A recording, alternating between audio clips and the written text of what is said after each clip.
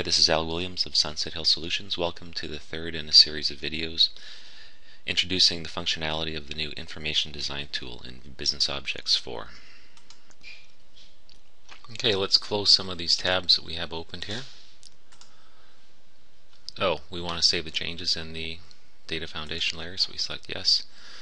Okay, so now we have we have our connection, we have our data foundation, and our business layer.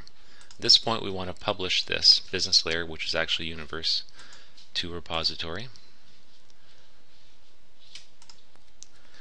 So when you publish a business layer slash universe to the repository, you have the option to check the integrity of the universe. I'm going to skip that step for now. and click on finish. And the universe was published successfully.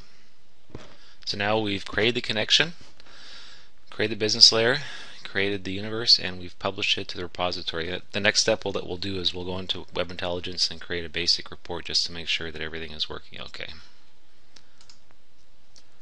Alright, so I'm logged into BI Launchpad as the administrator. So I'm going to go ahead and select Applications, Web Intelligence Application.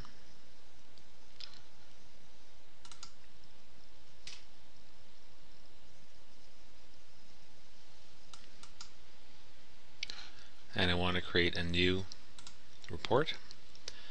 I want to select universe. At this point I'm going to be selecting the universe that we just created. And that universe, uh, for the purpose of this demo, I call BL AdventureWorks Demo. I'm going to select that universe.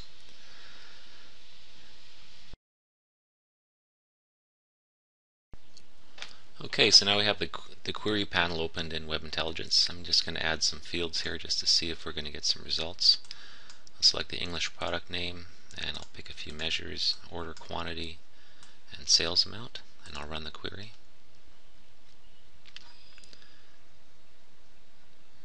And okay, we've got some results back. Um, I'm just going to make these columns wider. If I double click on the header, it's going to automatically give it the automatic width that you need or the the width that'll fit all the, the values in the column. Okay, so I can see all my products, order quantity, sales amount. Let's uh, let's add a date, a couple of date dimensions in here now.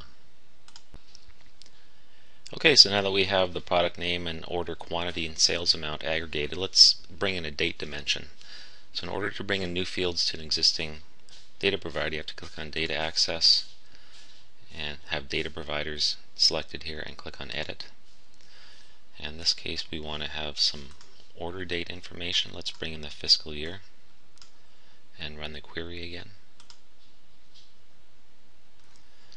Okay, so you can see I have fiscal year showing up in the list of objects on the left hand side, but it's not in the report yet. So in order to bring that in the report, I have to click and drag it and leave it there.